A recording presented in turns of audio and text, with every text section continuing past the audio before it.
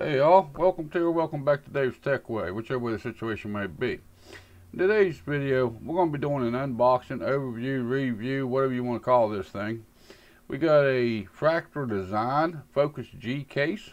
I'm going to kind of open it up, see what all comes in with the package. We're going to go over the specs of the case. And by the time I, by the end of this video, I'm going to have a build done in it, and I'm going to give you my final thoughts and uh, my opinion on if it's actually worth the 50 $50 case. It's a little over 50 bucks. It's right around the $50 price range. But stay tuned and uh, we'll see what my final thoughts is on this case.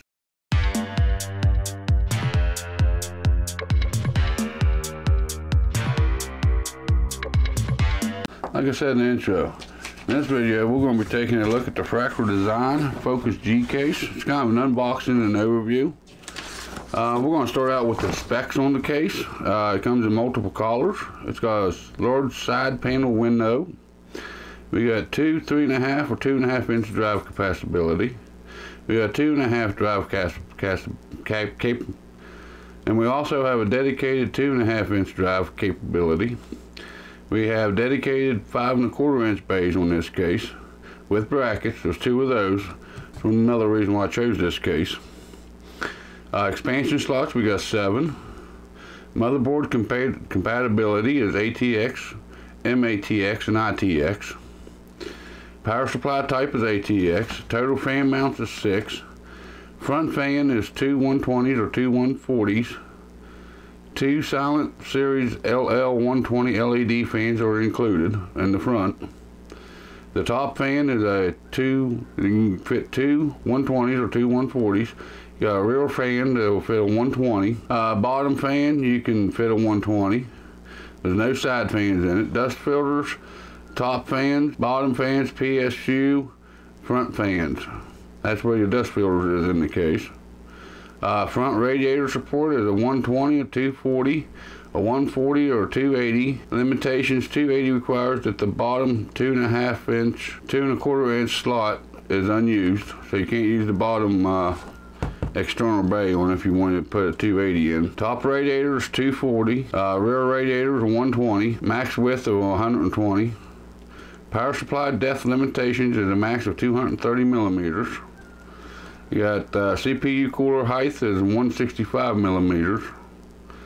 Cable routing is 18 to 25 millimeter spacing. That's behind the motherboard tray. Cable routing grommets, there's none of those. Velcro straps, there's none of those. Padlock and Kingston lock support, yes, it does have that. Uh, captive thumb screws, both side panels. So they come with uh, captive thumb screws. So when you take off side panels, you got, uh, they'll stay in there. Dimensions of the case is 205 by 444 by 464 millimeters. The volume is 39.8 liters and the weight is 4.5 kilograms. So that's the specs of it. And apparently guys, all these years I've been building computers, someone out there says that I'm that I, that I take my boxes out, my cases out of the boxes the wrong way.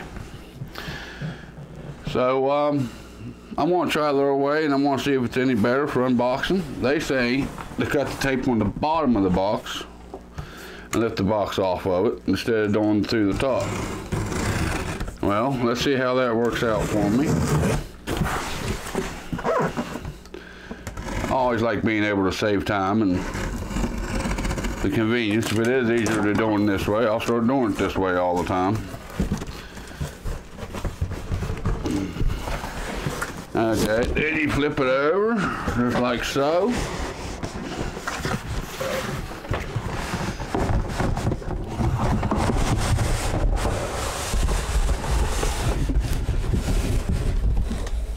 pull the box off. Box is empty, nothing else in there. Okay, take the styrofoam packaging off.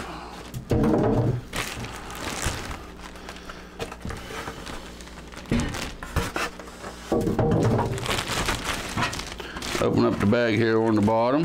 Uh, we got some documentation here, the user guide. And we'll lay that over there for right now. pull the bag off of it.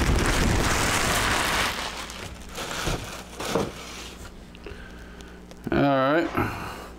Looking at the front of it, it looks like we have some kind of mesh here on the front of it with your two, two and a quarter, five, uh, yeah, with two five and a quarter inch bays. I'm assuming this thing pops off like most of them. Yep. Just pop it right off there. You got the two 120s that's included. The two 120 fans is included with the case. Looks like pretty good fans. Not bad. They are LED. I think, I believe this one's got blue LEDs in it. You don't have no bracket here at the top to remove for whenever you put it in five and a quarter inch bay. Which a lot of people think these things is a waste.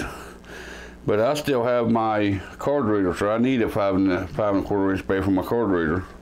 Instead of spending the money and getting one that runs off a USB 3, I'm gonna go ahead and use the same one I've got. Front panel, we got a reset power, got hard drive activity, headphones, microphone, USB 2 and USB 3. Uh, up here at the top, you have two places for 120s or 140s. Um, it looks like there is some filtration to them. Looks like there's a filter inside. We'll take a closer look at that when we get inside. On this side, we do have acrylic side panel, which is going to be my personal rig. I ain't too concerned with the side panel and whatnot. Because it's going to be against the wall. Um, here in the back, you got your standard power supply mount that uh, your power supply slides in from the from the side and comes back on the back of it. There's your seven expansion slots. That's nice for fifty dollars, fifty, a little over fifty dollar case. They actually have the dust covers back here where you can replace them. That's pretty nice. You don't see that much in these cheap cases. There's your cutout for your 120 fan. There's your IO shield cutout the back the back panel of it you got uh, a little bit of a raised area for your cable to help with the cable management but not much. It's just your plain black case. Black yeah black side panel. I'm not too happy about the filter on the bottom. I mean it does have filtration for your 120 or your power supply but it is one of them you know I'd rather see the kind that's got got the housing to it and it slides out instead of the kind you gotta literally flip your machine on its side or on its back to fold out to take the ventilation, but at least it does have some ventilation. It looks like it's got pretty good, pretty good clearance as far as the feet goes. I mean, it ain't, I don't know, you got maybe a half of an inch, quarter of an inch, half of an inch there.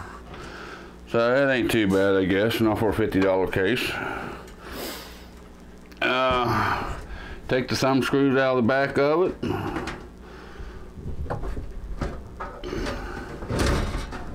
slide them off, put them in the case where I don't scratch them up. Because it does have that acrylic, that stuff scratches pretty easy. And guys, they didn't want that side panel coming off and shipping. There we go. I get a screwdriver to take that one off. And pull it back, slide it back just a little bit. And it should come right off. There we go. It came off.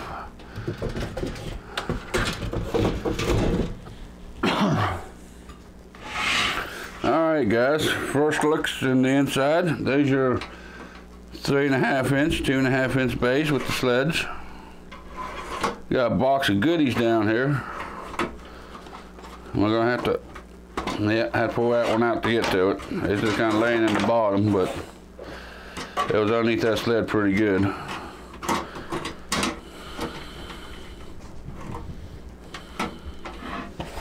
All right, let's see what we get in the box of goodies.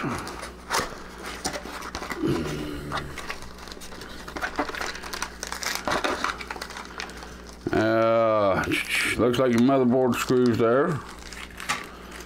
Yeah, there looks like, uh, what we got? We got a couple extra thumb screws. Looks like some fine tooth for like your SSDs and your hard drive screws. Uh, got some standoffs, looks like some kind of little, oh, it's a Kinsey lock bracket right there. You can put on it, I guess.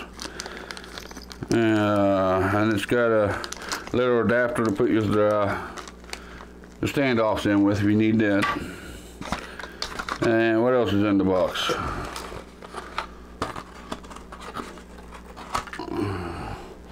And we got some zip ties. Not very many, but there's a few there to help you with your cable management when you get done with it. That's what's in the box. Alright, what else do we got here? Let's look at the front panel connector, see what we got on it, which should be USB 3, should be USB 2, audio and headphones, and your power switch and your reset switch, and one LED, it looks like what should have. Uh, that's it here. There, everybody knows that USB 3 cable right there. Uh, that's your front audio. That there's your hard drive activity light. Your power LED light. Oh, you got power LED light on it too, guys. It must be comboed with the uh, hard drive light. Got a reset switch and your power switch. Pretty typical layout. What's this one back here hiding? That should be your USB 2.0. Then you got your two fans, two cables here for your fans. So I might have to use a splitter because my motherboard's only got one uh, one header on it. Um, like they said, there's no grommets. Pretty simple case, basic case. Uh, looks like they've only got one standoff installed, and that's that middle one's got that little peg on it. You'll have to install the rest of the motherboard standoffs. Looking at the back of the case from the inside. Uh, cable management may not be too bad in this case. I'd like to see a little bit more room back here for cable management. At least they do give you a hole back here for your uh, CPU cable. I like that in a $50 case anymore. Because a lot of people, they don't cut that out to save money. But I kind of like that. And it says there's a two and a, say there's an SSD mount on this thing somewhere. But I'm not seeing it. They ain't sticking out to me. Because I guess if I read the owner's manual, it'd tell me where the SSD mount is on it. Which I want to put both my drives that I've got in that, in the drive cages. That way the cable management's nice and close. Okay guys, I guess down here is where your SSD mount, your standard SSD mount goes. Looks like it's gonna be a little close to get an SSD into that. Because I won't be using that in my build. But yeah, guys, that's kind of an overview, kind of a look at it. Um, let me get the build done up in it, and uh, I'll be back.